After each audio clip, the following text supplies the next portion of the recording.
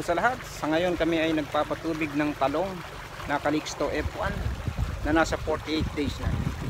At kasabay din po ng pagpapatubig, nandun yung mga kasamahan ko ayun. Nagdidilig po sila ng fertilizer. So puro padilig po ang ginagawa namin ngayon dahil tag-araw at isa pa napakamahal ng abono. Kaya kahit kaunti lang ay uh, tumatalab agad sa talong.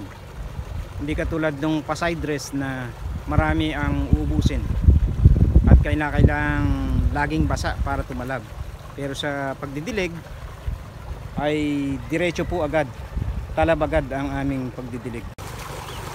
So meron po kaming dalawang klase ng distansya ng tudling dito sa aming talong. So una ay ito medyo masinsen. Ang distansya po ng tudling ay nasa 1.5 meters. Ah, dahil mahina po itong lupa na to at saka paharap po sa tagaraw. So pag tagaraw hindi po gaanong bumubulas ang talong kaya medyo masinsin. So susubukin namin kung um, lalago ba o talagang hindi na makukuhang lumago ng husto so gayon pa man kahit na ito ay mahina ay nilagyan namin ng chicken manure kaya parang maganda ang naging epekto niya yan berdeng berde po siya so hindi na rin po kami gumamit ng nitrogen o yung urea para mapabulas ang talong na ito So ito naman yung isang klase ng distansya ng tanim namin. So ang pagitan po ng talong na yan ay 3 meters. At dito sa pagitan mayroon kaming naka-intercrop na siling panigang. So base po sa experience namin kapag malakas ang lupa, katulad nitong tinan na namin, ay masyadong lumalago ang talong. So ang mangyayari po after 4 uh, months o 5 months ay wala na itong siling panigang at sa pagkakataong yon ito namang talong ay kasalukuyang lumalago so baka abuti ng 1 year eh, sa loob ng 1 year eh tsak na ito eh, halos eh magsalubong. Kaya ganito kadalang ang ginawa naming distansya sa talong. So base rin po sa karanasan namin dapat talagang ang talong pag malakas ang lupa at talagang maganda ang alaga ay ang dapat na pagitan ng tudling ay at least 2 meters hanggang 2.5 o dito nga ginawa naming 3 meters. So titingnan namin kung gaano ba kalago ang aabutin ng talong na ito. Ito rin pong kalixto base sa experience namin ay tumatagal ang buhay. Dahil matibay siya sa wilting kaya may posibilidad na ito ay umabot ng isang taon. At lalo na pagka inabutan ito ng tagulan ay malaki ang ilalago dito. Kaya ganito ang distansyang ginawa namin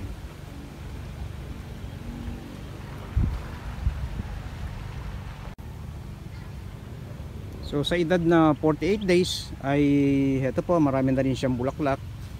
Parami na. At mayroon rin siyang pailan ilang bunga.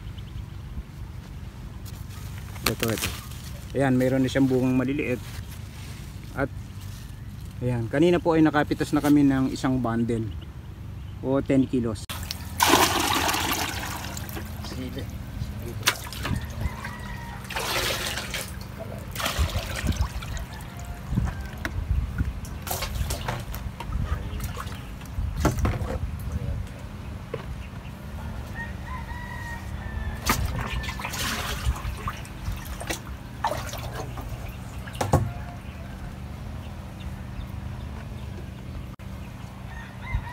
So dahil po ito ay kargado ng chicken manure, malakas ang lupa kaya tulad ng nasabi ko hindi na kami gumagamit ng urea na pampabulas at nagsisimula kaming magdilig after 15 days or 20 days.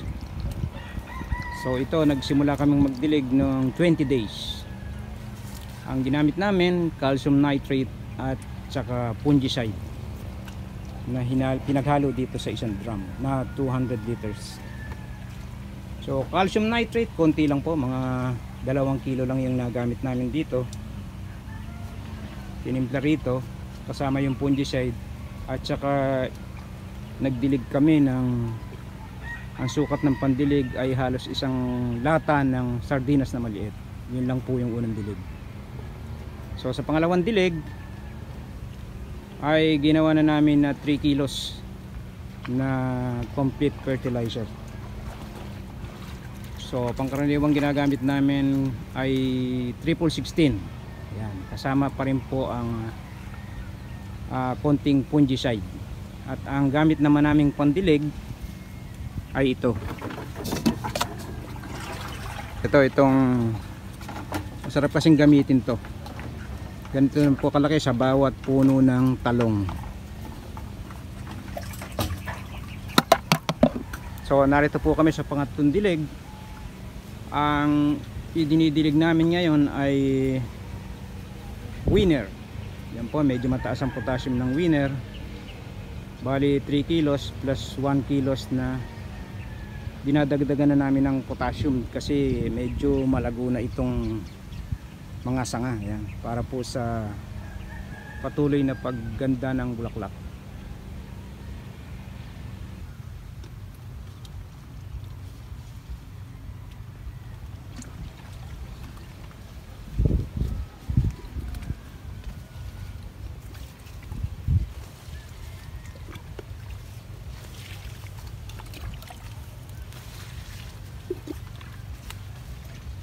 Naalisan mo na ng damo o yan kasabay na rin po sa pagdidilig ng talong itong pagdidilig na rin ng sili. So pag may damo ayan inaalis nila yung damo bago diligan. So mas okay po yun para hindi na kumain yung damo at lumago pa rin sa bandang puno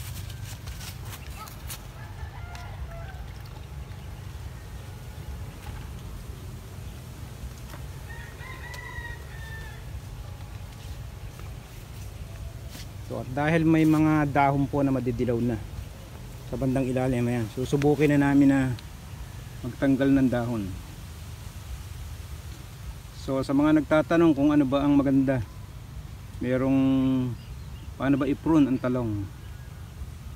So mayroon po tinatawag na top pruning kung saan puputulin dito sa ibabaw pagbata pa siya para sumanga dito sa ilalim at meron namang Y pruning. Y pruning kung saan puputulin naman ang mga sanga sa ilalim at ititira itong parting Y. So dito magsisimulang yumabong yung talong sa parting Y naman pero kami hindi kami nagpo-pruning maliban sa pagtatanggal lang ng mga dahong malalapad sa ilalim So tinatanggal namin yan para mawala yung mga dapat sa pamahayan ng insekto. Diyan po kasi naglalagi ang karamihan ng insekto. Katulad ng mga white flies. At diyan sila nagpaparami dahil medyo malamig sa ilalim. So kung natatanggal yung mga malalapad na dahon sa ilalim, ah, medyo madaling mag-spray. Madali silang tamaan. At saka yan, mas ginhawang magdilig. Kita agad yung pinakapuno. So sa mga nagtatanong po kung gaano ba kadalas ang pagpapatubig o ang pagdidilig sa talong o anumang gulay eh base po ito sa takbo ng panahon. So sa panahon ngayon na medyo malamig at hindi gaanong natutuyot ang lupa ah, kami po kung magpatubig ah, minsan inaabot ng dalawang linggo Ah, pagka medyo mamasa-masa pa at ah, okay pa yung moisture ah, hindi muna kami nagpapatubig ay di naman ang na masyadong laging basa yung kanyang ugat. At syempre pagka naman biglang uminit ang araw at nagiinit talagang malakas matuyot ang lupa. So at least ah, mga 5 days ay nagpapatubig na kami. Ah, makikita mo naman sa halaman yung yung kanyang dahon kung tila ibig ng malanta ibig sabihin ginagahong na sa tubig So ito po yung gamit namin na water pump dito sa lawa. Malapit dito sa lawa at nakakonect sa mahabang hose. Siguro mga 100 meters yung hose namin.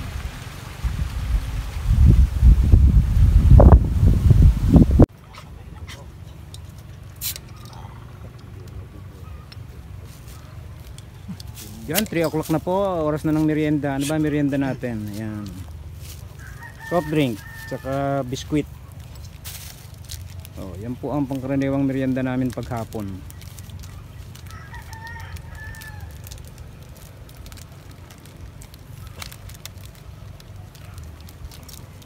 So yan po ang update namin sa aming tanim na talong hanggang sa susunod na video.